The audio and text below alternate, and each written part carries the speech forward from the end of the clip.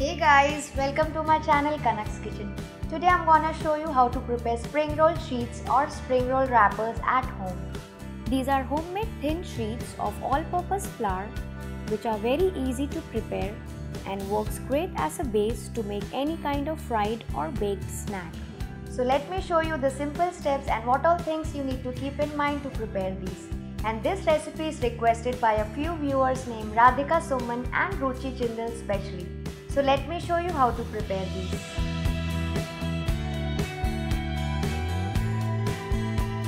First up in a bowl, sieve together the all-purpose flour, cornstarch and the salt nicely to ensure that it's free from any kind of lumps. Once sieved, now mix in the oil and rub the oil with the help of your hands into the flour. Next adding warm water little at a time start to knead the dough for a while until it all starts to come together to make a semi-soft and elastic dough out of it. So keep kneading the dough and adding the water as required. And now when it's pulled together, apply a very little oil on top and again knead it. Now cover it with a damp cloth and keep it aside for around 30 to 40 minutes.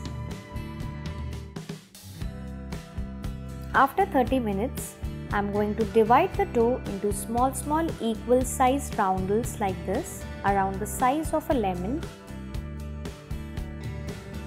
And now take a ball of dough and roll it into a small 3 to 4 inches disc. Do this similarly with the another ball of dough as well. Now these two sheets are ready. Now brush both of them with some oil on top surface. Now brush both the rolled sheet with some oil on the top surface only. You can see this way just a very thin layer out of it. And next sprinkle little flour over it.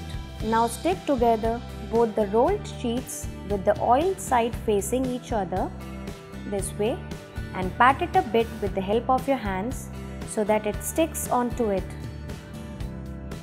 and here I am using this basic plastic sheet. Now with the help of some dry flour, roll it out as thin as you can to make a big sheet like chapati. Plastic sheet will help in stretching the all-purpose flour nicely as it's quite elastic. So keep rolling it evenly on all the sides and the edges. So you can see how it looks Next, heat a non-stick pan or a tawa over medium-high heat and place a rolled roti over it. And let it cook for just around 8 to 10 seconds on each side. It should not be cooked more than that and flip it over onto the other side and again cook for another 8 seconds. It's done enough. Remove it onto a platform and then gently cut the sides of it this way with the help of a pizza cutter to give it a square or rectangular shape out of it.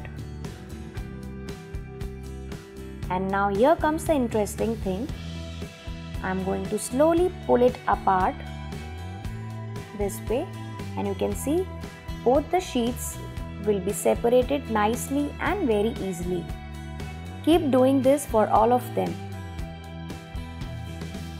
Now these thin spring roll sheets or wrappers are ready.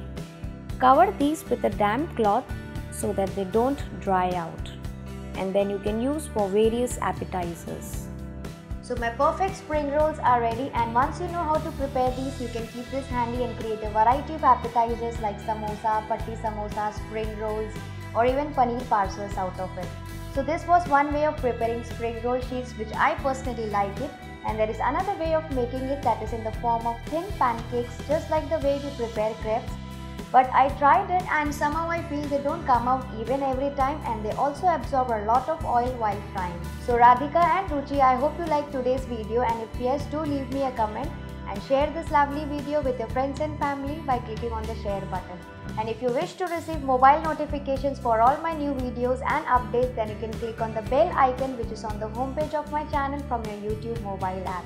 But before that don't forget to subscribe to my YouTube channel if you haven't subscribed yet. Till then take good care of yourself. It's me Kanak signing off. Bye bye.